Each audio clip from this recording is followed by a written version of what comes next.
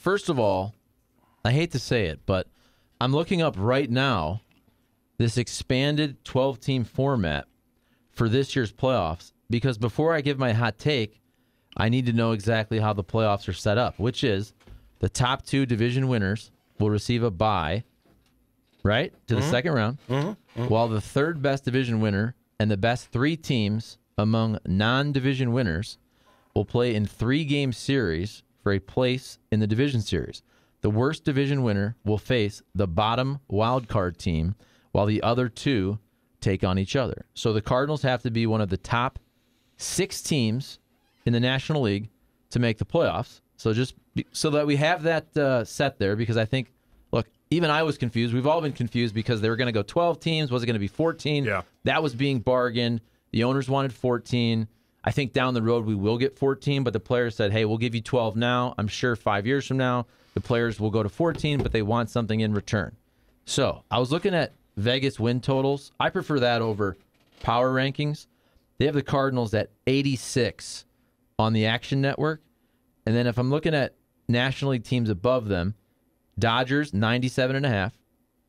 The next team for National League because a bunch of American League teams after that. Brewers 90, Braves 89, a banged up Mets pitching staff 87, Phillies 86 and a half, Padres 86 and a half. That's six teams. So if you look at Vegas, the Cardinals at 86, they're right there and the Giants are also at 86. So they're right on the cusp Vegas wise of making the playoffs. If if the win totals played out, we all know they won't. But that would have the Cardinals out of the playoffs. They would be the seventh best team in the National League. Them and the Giants would fall just short of the Phillies and the Padres. I wonder if they had a healthy Flaherty, if their win total would be projected as higher. I, I mean, I get, I I- get, no, I get the concern. He's your ace, and you know, hopefully he'll be back. He he doesn't think it's a big deal. We have to wait and see. Um, I, I still think they can they they can make moves. They got. I, I, I've always wanted to see Liberatore anyway. Um, at some point this season as a starter. I think I think that's a legitimate concern as a starting rotation based on the fact you have guys coming off injury, if you know a couple guys like Bueno who's up there in years. Um, so you, you have to wait and see. I, I just think they're going to be good, and maybe that's the fanboy in me. Oh, But uh, I think they're going to be better than 86 wins. I could see, yeah. I mean, would it surprise me one bit if they win 88 games? I think the bigger issue, though, you would think with an expanded playoff format, I mean, the Cardinals almost always get in anyway. But these other teams, the Dodgers, look, they always spend, they're really good. They have a great farm system also. But look at these other teams. To me, I would put the Brewers also above the Cardinals in the National League Central. And I say this because, look, the Cardinals have a better lineup. The Cardinals have better overall position players. One thing I think probably where the Cardinals are slept on is how good defensively and base running of a team they are. And that's not sexy, but that wins games over the course of 162. Cardinals, in my opinion, better lineup than Milwaukee. Milwaukee's rotation is freaking stacked. And they have two of the best bullpen arms in all of baseball in Josh Hader and Devin Williams. So over the course of 162, with a banged up rotation for the Cardinals to start, I would also put the Brewers above the Cardinals in the Central. That doesn't mean the Brewers are going to win the division, but I do think on I don't paper, think they got enough offense. well, could And they I think- have enough? And I, they could. And I think the Cardinals are going to be better than people expect. I think that outfield is going to have a huge. I I mean, the guys at the corners, you kind of expect big numbers. I get that. Will DeJong bounce back? I think he has a good chance to do that. But I think the guys in the outfield um, are going to have big years. And I agree with you with the base running part, which kind of flies under the radar. I think guys like O'Neill and Bader, if Bader's better offensively, he's on the base paths more. I think these guys could really wreak havoc on the base paths with their speed, which I don't think we saw a ton of last year. Um, hopefully, we'll see more of it this year. And Cam, I want your take. I just want to say though, I think You maybe sure? no, I do. Oh. But I think a more interesting conversation is look at the teams ahead of them and what they did to try to make the playoffs. Again, we all know Dodgers. Okay, Braves are coming off the World Series, and they they basically flip Freddie Freeman for a younger version of Freddie Freeman. They're still Pretty amazing how really they did good. that surgically. Here's another thing. The Mets, even with a banged up DeGrom and a banged up Scherzer, Steve Cohen will literally spend, if he had to, he would spend $400 million this year to try to win the World Series. I'm not saying that's a good thing. It's very interesting, but they're going for it. The Phillies just in the offseason signed Schwarber and Castellanos to go along with Bryce Harper. That's a good team, and they're they're trying to win. The Padres just go ahead and they get Sean Manaea, and then the team for win totals that the Cardinals are tied with the Giants. How many games they win last year? 106, whatever it was. Yeah. So I mean that's a that's a really tough eight teams. Two of those teams most likely are not going to make the playoffs. Right? That's the math. Yeah. Two of those teams won't make the playoffs. Hmm, hmm, hmm. What did you do? Was it a question to me? No, I just think that on paper you're thinking, yeah, the Cardinals should be really good, but then you look at the teams above them, and there's only six playoff spots. And if if the Vegas win totals played out perfectly, and by the way, they won't, but they would have the St. Louis Cardinals and the San Francisco Giants, both teams that made the playoffs last year. One made the wild card, the other won a division with like 106 wins. They would not be in. Let me ask you this: Is there a team in the mix from Vegas that has a crappy payroll? Mm, the Marlins 77 and a half wins.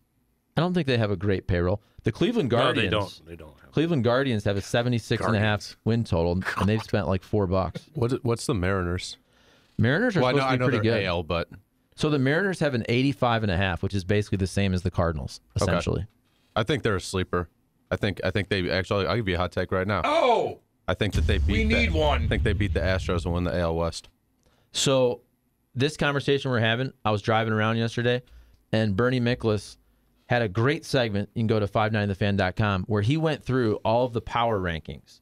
Basically all these different writers, all these websites, but folks that that know baseball. And he he read where do they have the Cardinals? And it was very similar. It was like let's say between 12, 13, 14, 15, 16 in Major League Baseball, which I think maybe that's a little low, but I think the baseball world looks at the Cardinals as a good, not great team. but they're spinning like a good, great team, right? The Cardinals? Yeah. They're always right around 160 ish. Always in the same realm. Always The Always same Yeah. bucket as Mo would say. Yeah, they're they're always I, and I get that. I just think defense and base running are more important than people give them credit for, and that kind of stuff flies under the radar. You play defense, you're going to make your pitchers better. So yeah, does that rotation have some question marks? You know, based on health, I get it. But we saw it last year. You can put other guys in there, guys that you thought might have been done, and all of a sudden they're trying to throw ground balls and put the, keep the ball in play, not going for strikeouts, and all of a sudden their numbers are good. And to me, the big the big hurdle for the Cardinals last year was the offense was just stagnant for the first half, and we saw Oh, in the second half what it could be. Now, there's a difference between what it could be and actually going out there and doing it. But I think they will this year. I think they're going to be better than folks give them credit for. So you think the big boys, Mo, DeWitt, all them, are if they're looking at that, they're like, oh, 86 wins. We're going to have Mo on tomorrow, by the way. Yeah. All right. Cool. Do you think they're looking at the uh, the projections and saying, yeah, okay, this is that's kind of where we should be, or are they probably No, like, well, no, like we're bringing in guys, we're signed him, we're spending a lot of money, we should be 90, 91 wins. Think, uh, in my opinion, I know the Cardinals try to be efficient with every dollar they spend on payroll and everything. That's why they don't go out when there's a chance the guy they have can be as good as the guy they're going to spend a lot of money on, and that guy that they spend a lot of money on has a chance of being a bust and and being a waste of money. They're they're more conservative with their funds, so they're not always going to upgrade. Well, we can we can do this. I think they have a team that they feel can win. My guess would be if the uh, if the starting rotation takes on some water, they will go out and, and do something. But I think right now they feel they have enough Yeah. to be a winning ball club. See, that scares me though. And I usually offer the Cardinals the benefit of the doubt, but they waited too long last year. I know, and I can say it worked out in air quotes because they made the wild card. But if they even added a They, half, they won 17 in a row. well, they won 17 in a row, but they But They- you can't count on that. I understand. they what you're got to a, yeah they got to a one game playoff where you're rolling the dice 50-50 and you're facing Max Scherzer. You could make the argument that even if you went and got Wade LeBlanc a month earlier, last year the Cardinals lost the division. I believe it was late May when the Brewers went. The Brewers made that trade for Willy Adames, and they went crazy. The Brewers for about six weeks were unbelievable, and that was exactly around the time, if you remember, the Cardinals in about a week or ten days had injuries to Flaherty and Mikolas. And so the Cardinals lost the division despite the, the 17 game win streak. They lost it there in June. In late May and June, when they took a dive, the Brewers went crazy and the Brewers went so up in the division. What were they up? 11 games, 11 and a half, whatever it was. The Cardinals could not come back from that despite a 17 game win streak. So if your rotation is already cratering before the season started with Flaherty and a bulk guy in Alex Reyes, Somebody else is getting hurt, by the way. You think you think Wayno, Mikolas, Dak Hudson, and Matz, you think those guys are all going to make 33 starts? Hell no. And I will say, in in fairness and honesty, when the Cardinals got Happ and Lester, I kind of thought it was waving the white flag. Hey, we just need some arms to get us to the finish line. Like, yes, I'm a rights holder and a fanboy, hmm. but I didn't say they're gonna they're gonna rattle off 17 straight wins but it worked out beautifully. It didn't work out as well, like you say. If it's a one game playoff, you're you're rolling the dice. I I do think Liberatore is a guy who I think everyone that's a Cardinal fan would like to see and believes can have success. So if you're talking about rotation depth, you look at him and you think, you know, if he's a piece we can use, do we need to act now? But I will agree, right now there are legitimate questions with where they are in terms of injury. Um, somebody's chirping me for the chair. Somebody goes, "Is that a door or somebody's chair?" And he's like, "Holy hell!" I go, "It's my chair." Squeaky? I was, I was squeaking. He's like, "Bring WD forty," and I'm like, "I didn't bring it this time." But he's like, "Oh, you guys are good anyway." So that was kind of nice in that. But the FO has to be more productive than they were in 21 if things go sideways. The FO. Like I look at Front I, office. I have the Cardinals not losing a game this season. Now maybe that's too optimistic, but that's how that's my fanboy ranking. Steven Matz look good yesterday. I do think though. Look, Steven Big Matz, season ahead. Steven Matz in front of the the best defense arguably of all time in a great pitcher's park doesn't surprise me one bit if if Steven Matz puts up. That's another thing. These pitchers, if, if you're thinking the Cardinals pitching staff, okay, you don't love the depth and rotation. They have a lot of nice bullpen pieces, but you you play half your games at Busch in front of literally a historic defense. They catch the ball. Yeah, they they're going to make a lot of outs. They're going to roll a lot They of cover ground balls. ground. That's why they- five gold glovers. How many dudes in this defense? How many dudes at the end of their career will have a gold glove? Yadi obviously didn't win last year, has a ton. Dylan Carlson might win a gold glove before his career is over. So, I mean, do the math there. Literally, shortstop might be the only position where you don't have a player who at some point in his career will win a gold glove. I I still think he's a plus defender, He is. but a lot of people are like, oh, he's. I think he's a good defensive player. How do you get? How do they determine who gets a Gold Glove? Like how do how does that all break down? So that now it's computerized based on the defensive metrics. It used to be, hey, if the guy can field a little bit and is really good offensively, And we've let's heard get of him. him. Eye- eye yeah, test. allowed let's to get get him a Gold Glove. But mo- it used to be a lot by your offensive resume, put you in the conversation, and in some cases put you over the top.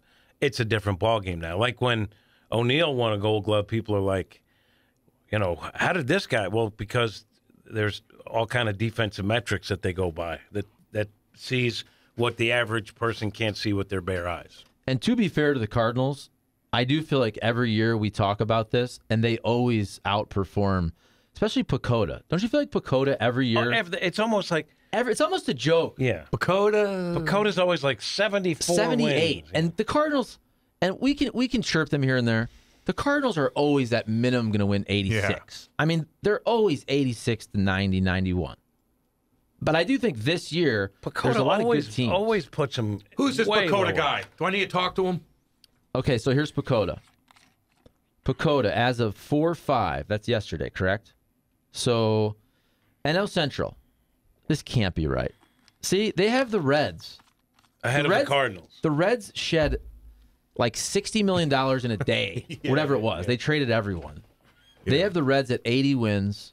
They have the Cardinals at seventy nine point two, and that's where PECOTA is always wrong on the Cardinals. They are always wrong on the Cardinals.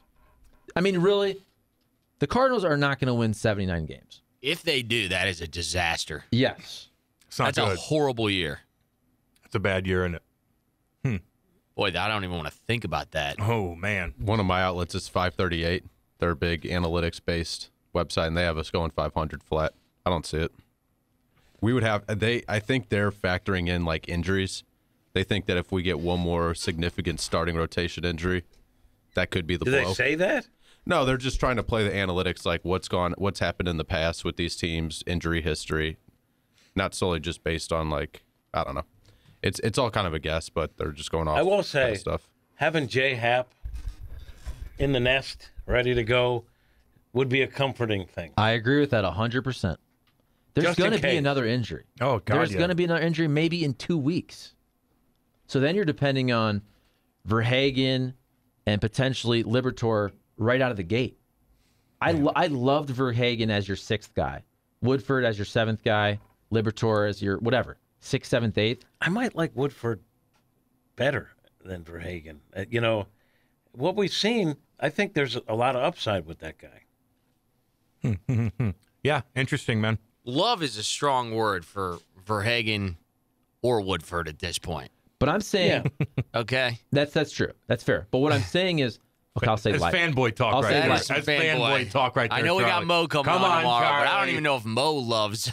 no. Verhagen or Charlie loves Woodford. everybody. No, I was saying, I'll I'll say like, I like those guys as your sixth, seventh, eighth, ninth starter. Again, it's nice to have Johan Oviedo as your ninth starter, right? Last year, he had to be your fifth starter in the big leagues for a stretch of time when he wasn't ready.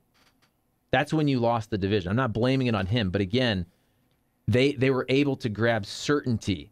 Were they studs? No, but Happ and Lester, even though we all made fun of those moves, they were innings eaters, How about LeBlanc? big leaguers. They bring this guy in just because he throws strikes and can give him some bullpen depth when a when a game gets out of hand, and he's in the rotation, and he was you know efficient for a five inning guy. I mean, it didn't go well for them, and they still got into the the postseason. Dakota Hudson is healthy now. I think people sleep on him. I think he is going to be a very good pitcher. People forget what he did when he was healthy before he got injured. I also think Mikolas, when he's healthy, is a really solid starter, and he looks like he's really healthy now. Those are middle of the rotation guys, pretty good in my book. And if Wayno, and I know it's an if, because any player you question at this point in their career, can they do it again? But to me, all indications are Wayno will be good this season. So they have the makings of a decent rotation, even with a guy like Flaherty, you know, starting it where his his, his situation is kind of in limbo. Uh, Kyle chimes in and goes, The Cardinals have a J Happ, but 10 ish years younger in Connor Thomas. But he's not proven. None of these guys are. Tell that to Kyle. One of one of the Kyle, little issues. Kyle, come on. like we had uh, Drew Silva on yesterday. He's a smart guy, writes all these power rankings for NBC Sports Edge, and he said that the Cardinals' rotation is the worst that he has analyzed since he moved to St. Louis in 1996, which is pretty heavy. But when you look at these power What, rankings, what is that based on? What is that based on? Like I get it.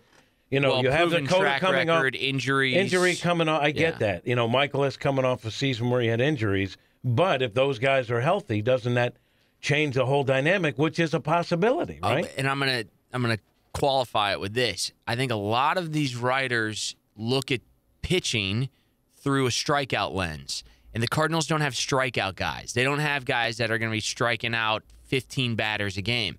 They're going to have guys that are sinker ball, ground ball guys, and with you have a defense like the Cardinals possess, as Charlie's alluding to, you're going to save a lot of runs. And so I think that's what they're sort of banking on. That- but mean, when it comes to predictions, That's why they get a guy like Matz because he fits what they're. You know, they don't want. I mean, if you're going to strike out guys like Hicks, that and you're healthy and effective, it's great. But really, what they've preached as an organization for a while is pitch a contact. We'll put together a good defense, and we'll have efficient innings, and we'll get you on to the next one. I, and don't get me wrong, I think I like Drew Silva. I think he's a really smart guy. Um, I, I, I just and I could see the questions, but right now, based on where Flaherty is, we know it's possible that he comes back and he's fine. I think the rotation can be good. not the most dire situation I've seen in a long time. But the Brewers rotation is full of monsters. Absolute Throwing that heat. absolute monsters. Yeah. I, I What's their payroll like? it's not great. Really? I mean, they're not loaded. super high. I would. Say, I'm guessing. I mean, Christian Yelich is I'm making always a ton. I'm always curious on payrolls now. Can, did, can Yelich hit anymore? Probably not. I think Andrew McCutchen was a sneaky good move for them.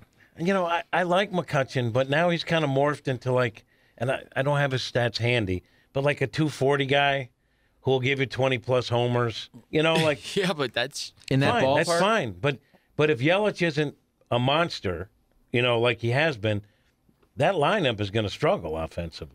And I didn't even did Yelich have a good spring? I didn't even check on that. I'll look it up. Uh, Gino's chiming in. This pitching staff is light years ahead of 1996. I said that loud because I feel like he texts loud, you know? So Brewers, some sneaky good moves. Some sneaky good moves. Hunter Renfroe, I like that. big time power hitter. Andrew McCutchen, I know he's been banged up. I feel like in that ballpark, I just don't think he's he'll the be same pretty guy. dang good. He's been around a while, eh? Yeah. Yep. Pirates. And a lot of different stops, a lot of different venues since Pittsburgh. So Andrew McCutchen, last year with Philadelphia, 27 bombs, 80 RBIs, only hit 222, 27. 334 on base. So not a great OPS. But I think in that ballpark, if he's healthy, he's gonna hit a lot of home runs. 27 home runs by McCutchen. Yeah, That's impressive. I How old didn't, is I he? didn't think he got more than that surprised 20. me too. 30, 31. He is. He was born in '86. Oh, yeah. Okay. By the He's a way, little bit older. Yelich, just so you know, went eight for thirty in spring and eleven games with two extra base hits, no homers. So not not great, but Was you he know, banged up? He get banged up pretty good? His back's all messed up. Oh, well, that, I mean, that'll did- do it. even in the field, he didn't look like the same guy. That'll do it. That'll do it. Telling you. Uh, all right, let's go to break. It's eight twelve. Let's get uh, let's get a break in. Let's regroup. We got a lot of stuff to get into anyway, guys. We are going to be back. This is Hot Take Central. Cam Janssen, Jim the Gad Hayes, Charlie Marlow. We're just doing our thing. No fanboys in here, except for Kyle when he texts in. He's a minor league fanboy and already admi- admitted it. We love you, Kyle. It's all good, baby. We're going to be back. Five nine the fan. Five nine the fan.com.